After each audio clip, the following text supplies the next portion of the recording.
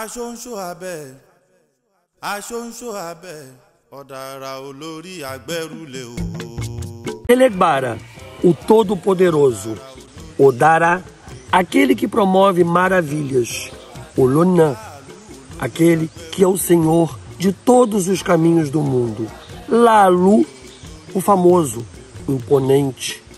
Aladê, aquele que traz a prosperidade. Esses são alguns títulos mais usados para Exu para exaltar a força e o poder indescritível desta divindade. Exu é o orixá que dá movimento ao mundo. Ele dá caminho, ele abre e fecha a porta. Exu está em todos os locais. Ele fala todas as línguas. Ele transforma erros em acertos. Não existe dimensão para comparar o poder de Exu. Aquele que é devoto de Exu deve ser correto em suas atitudes. O orixá do impossível jamais o abandonará. E no programa de hoje eu trouxe um ebó, uma limpeza espiritual para que Exu quebre, elimine, retire todos os obstáculos e problemas do seu caminho. E para você que é novo por aqui, eu sou o Dr. Alexander. E se você gosta de aprender sobre a ritualística dos orixás, curta esse vídeo para que o YouTube possa levar o nosso canal a mais e mais pessoas. E vamos agora ao passo a passo desse ebó. Pegue um coco seco que tenha água e vá para um local reservado. Fale diretamente no coco, pedindo a Exu que remova os obstáculos e tudo que atrapalhe o seu caminho, sejam sentimentos, pessoas ou situações.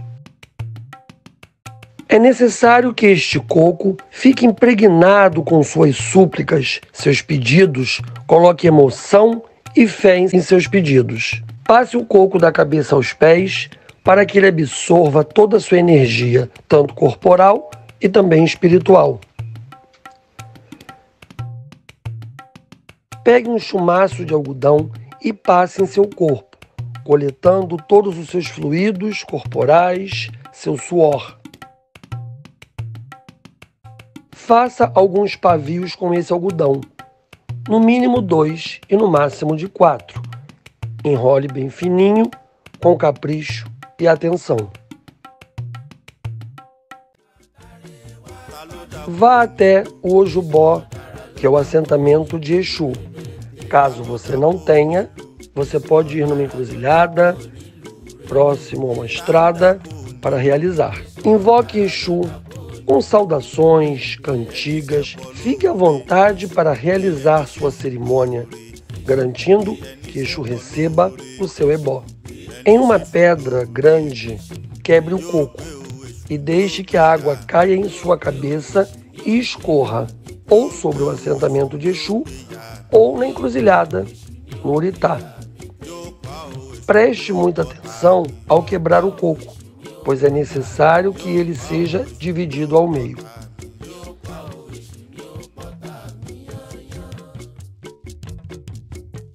Em um lado, encha de azeite de dendê de boa qualidade e vá colocando os pavios, se atentando em espalhar bem o dendê por todo o algodão. Se o dendê for todo absorvido, pode encher com mais. Na outra banda do coco, coloque água e uma pitada de efum. Acenda com o uso de um isqueiro, com muito cuidado para não se queimar. Vá pedindo a Exu que se acenda a chama da prosperidade, saúde, realização, boas oportunidades, aquilo que você deseja. Esse ebó é para equilibrar as energias da sua vida. Água e fogo, o vermelho e o branco, para que Exu traga equilíbrio e luz, principalmente aos seus momentos mais sombrios. Quando o coco se quebra, ele desfragmenta toda a negatividade que estava com você e Exu trará tudo o que você precisa. Deixe queimar e depois entregue tudo em uma encruzilhada.